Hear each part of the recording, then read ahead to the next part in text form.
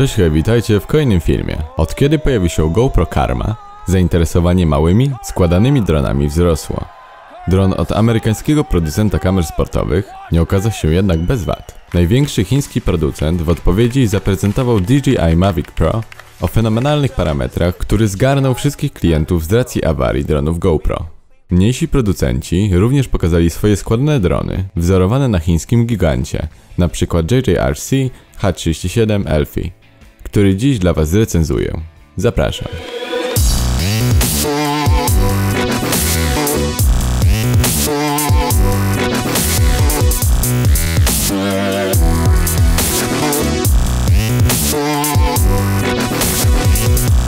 Firma JJRC jest jedną z najbardziej popularnych firm produkujących zdalnie sterowane modele tuż obok Symy. Może ona pochwalić się kilkunastoma znakomitymi modelami. Sprawdźmy, czy model H37 również będzie do nich należał. Za tego drona musimy zapłacić około 120 zł. Z moją zniżką cena będzie wynosić nawet niecałe 100 zł. Jeżeli jesteście zainteresowani, zapraszam do kontaktu. JJRC H37 to dokładnie ten sam dron co Ishin E50. Zostały zmienione tylko kolory. W pudełku znajduje się etui na drona, instrukcja obsługi, dron JJRC H37 Elfie wraz z akumulatorem o pojemności 500 mAh, zestaw części zamiennych, ładowarka. Skoro jesteśmy już przy pudełku, to odpowiada ono rozmiarom współczesnym opakowaniem od telefonów komórkowych, a funkcję zabezpieczenia zawartości również spełnia bez problemu. Dron swoim wyglądem poza składanymi ramionami, które ma Mavic, bryłą przypomina Unica Breezy. Quadrocopter przed złożeniem ma wymiary 6,5 cm szerokości, 13,5 cm długości i 2,5 cm wysokości. A po rozłożeniu 16 cm szerokości, 13,5 cm długości, 2,5 cm wysokości. Włącznie z baterią waży około 80 gram. Bateria to standardowy w tego typu modelach akumulator 1S o pojemności 500 mAh zakończony klasycznym wtykiem Molex 51005. Akumulator wraz z wtykiem waży 17 gram. Średni czas lotu, jaki uzyskałem na jednym ładowaniu, to około 7 minut. Skoro cały dron ma być mobilny, to ładowarka również. Fajnie, że pomyślał o tym producent. Ładowarka jest wielkości pendrive'a, baterię naładujemy do pełna w około 60 minut. Dron wyposażony jest w 4 diody LED, informujące nas o położeniu maszyny w przestrzeni. Z przodu mamy dwie koloru białego, zaś z tyłu również dwie, tylko koloru czerwonego. 7 cm śmigła są dosyć trwałe, ale dodatkowo mamy dołączone 4 zapasowe.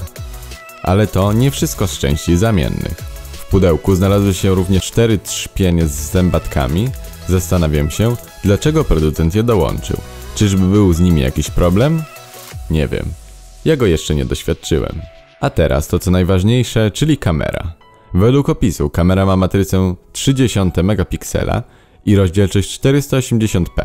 Jednak rozdzielczość zdjęć i rejestrowanych filmów to 720 na 576 pikseli.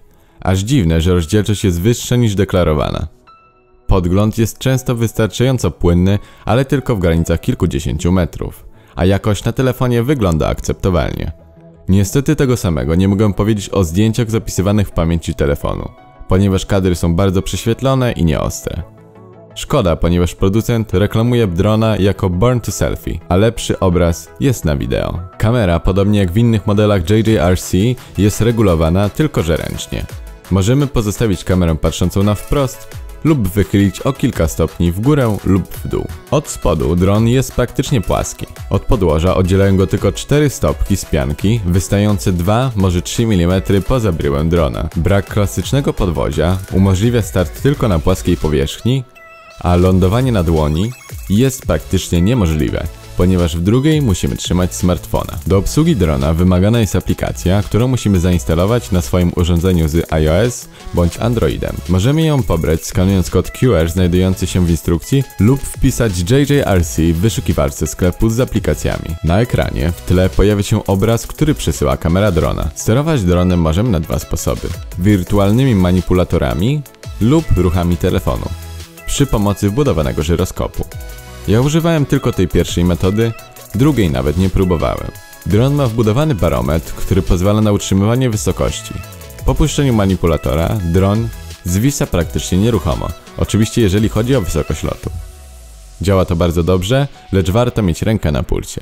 Kolejnym udogodnieniem jest LVC, Low Voltage Control. Jest to funkcja, która informuje nas o niskim poziomie naładowania baterii. Kiedy bateria jest bliska wyczerpaniu, wszystkie cztery diody drona zaczynają migotać. Od tego czasu mamy około 30 sekund, aby bezpiecznie wylądować. Moim zdaniem ten dron to efekt pokazania możliwości producenta za akceptowalną cenę. Na pochwałę zasługuje przede wszystkim jakość kamery, ponieważ podgląd nie zacina się, jest płynny, a jakość nagrań, hmm, przyzwoita. Żyroskop oraz barometr dobrze stabilizują drona, pozwalają na w miarę stabilny zwis. Wracając do kamery, bardzo podoba mi się regulacja kąta i nachylenia. Będąc wyżej możemy skierować obiektyw w dół, co pozwoli na nagrywanie tego, co jest poniżej maszyny. Design quadrocoptera bardzo mi się podoba, jest prosty i minimalistyczny. Diody LED są starannie ukryte, znacznie poprawiając wygląd drona. System składania ramion działa dobrze, to znaczy nie składają się one same podczas lotu. Całość jest bardzo mobilna, zarówno dron, jak i akcesoria. Kład bez problemu zmieści się w kieszeni, a do lotu potrzebujemy tylko maszyny, baterii i smartfona z aplikacją. Wyjątkowo spodobało mi się ładowarka, która mimo iż nie będzie wygodna w użyciu, to będzie znacznie bardziej trwała niż te z cieniutkim przewodem. Całość jest dobrze spasowana, a części zamienne pozwolą szybko naprawić wyrządzone uszkodzenia. Znaczącym błędem, który każdy zauważy, to umiejscowienie gniazda Molex 2 pin. Włożenie wtyku jest trudne, a żeby go wyciągnąć musimy ciągnąć za przewody. Zasięg Wi-Fi mógłby być lepszy. Telefon z wyższej półki może lekko poprawić zasięg, lecz na loty powyżej 30 metrów nie mamy co liczyć. Dla mnie sterowanie tylko z telefonu to zły pomysł. Oczywiście można się do tego przyzwyczaić, lecz ja nie potrafię. Ponadto nietypowy kształt baterii nie pozwala na zastosowanie innych niż oryginalne. Moim zdaniem don jest bardziej do zabawy, raczej do takich spontanicznych lotów, kiedy nie mamy miejsca, aby wziąć coś większego. Doskonale sprawdza się w pomieszczeniach, jest stabilny i zwrotny. Jego rozmiary pozwalają zabrać go dosłownie wszędzie, a nawet mieć ciągle przy sobie. W jednej kieszeni telefon, a w drugiej quadcopter. Kamera w przyzwoitej, lecz archaicznej proporcji obrazu rejestruje nasze loty, a ładowarka z USB pozwoli na ładowanie zarówno z komputera, powerbanka lub innego dowolnego urządzenia wyposażonego w popularny port USB.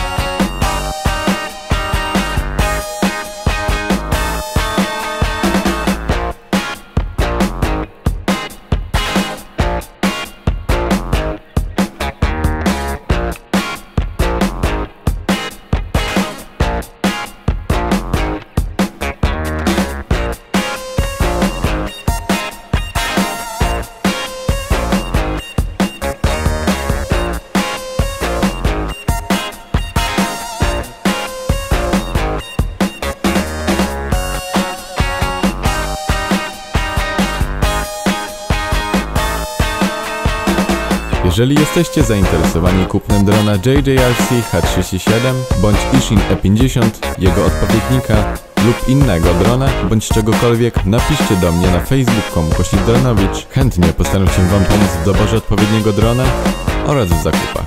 Tak jak wspominałem, po kontakcie na facebook.com kośnik dronowicz zawsze znajdę dla Was jakiś korzystny rabat lub udzielę drobnej zniżki. Jeżeli filmik się podobał, zapraszam do zostawienia łapki w górę oraz subskrybowania kanału. Będę wdzięczny, jeżeli również udostępnicie ten film swoim znajomym. Zapraszam również na Facebooka Dronowicza. Dziękuję za oglądanie. Do następnego razu.